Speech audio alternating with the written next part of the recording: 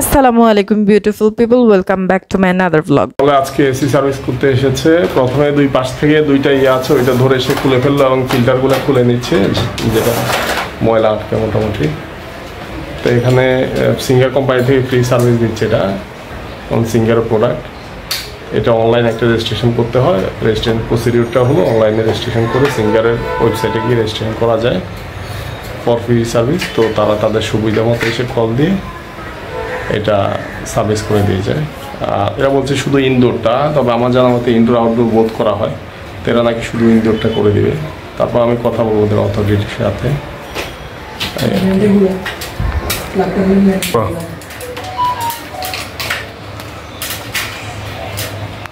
Switch off আছে হ্যাঁ?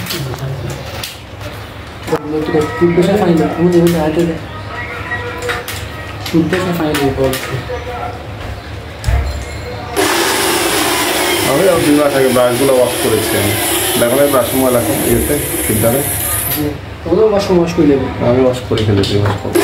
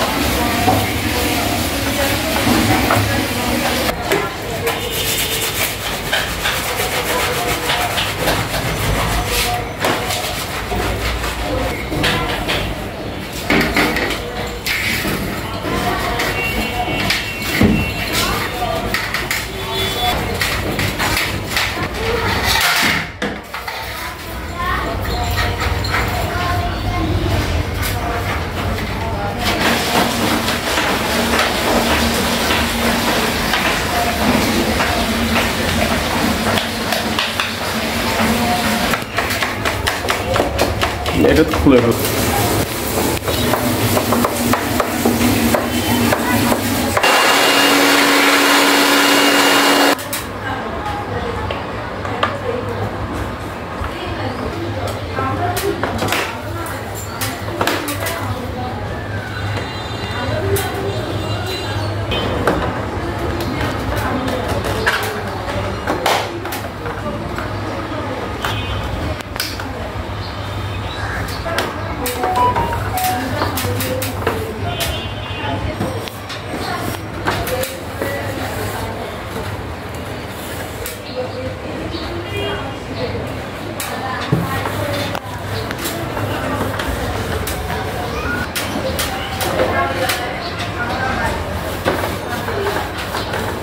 Normally আমরা সবসময় বাসায় নিজেরাই এসি পরিষ্কার করে থাকি। কিন্তু এবার খাদিজার বাবা রেজিস্ট্রেশন করেছিল ফ্রি সার্ভিসিং এর জন্য সিঙ্গারের ওয়েবসাইটে গিয়ে। আপনারাও যারা সিঙ্গার থেকে এসি কিনেছেন, তারাও কিন্তু চাইলে সিঙ্গারের ওয়েবসাইটে গিয়ে ফ্রি এসি সার্ভিসিং এর যে ফর্ম থাকবে, সেটি ফিল আপ করলে যে কোনো একটি নির্দিষ্ট দিনে তাদের সার্ভিসিং সেন্টার থেকে মানুষ এসে আপনাদের এসি পরিষ্কার করে দিয়ে যাবে। অনেস্টলি বলতে গেলে তাদের ফ্রি সার্ভিসিং হলেও সার্ভিসিং বয় যারা এসেছিল, তারা কিন্তু যথেষ্ট মেহনত করেছে এবং এসি কিন্তু দেখতে চকচক করছে। মনেই হচ্ছে না আজকে এত বছর হয়ে গেছে এসিটির। সামনে ঈদকে কেন্দ্র করে সিঙ্গারের এই ইনিশিয়েট আসলে অনেক প্রশংসার উপযোগী। মাসাল্লাহ করে এসি একদমই চকচক করছে, খুব সুন্দর লাগছে। এসির ব্যাপারে আপনাদের একটা ছোট টিপস দিয়ে দিই। সচরাচর আমরা দেখা যায় যখন এসি ছাড়ি স্টার্টিং পয়েন্টে আমরা সিক্সটিন করে দিই। তো এতে কিন্তু দেখা যায় এসির উপর প্রচুর প্রেসার পড়ে। যেহেতু এসি কে রুম টেম্পারেচারের একটা কোল্ডনেস আনতে হয়, তাই হঠাৎ করে যদি আমরা ষোলো দিয়ে দিই, তাহলে কিন্তু এসির উপর অনেক বেশি প্রেসার পড়ে যায়। আর দীর্ঘমেয়াদী ফলশ্রুতিতে দেখা যাবে আপনার এসিটি খুব বেশি দিন টিকবে না। তাই এসি যখন ছাড়বেন, তখন টোয়েন্টি ওয়ান অথবা টোয়েন্টি টু দিয়ে স্টার্ট করবেন। ঠিক আছে, আজকের ভিডিওটি তাহলে এখানে সমাপ্ত।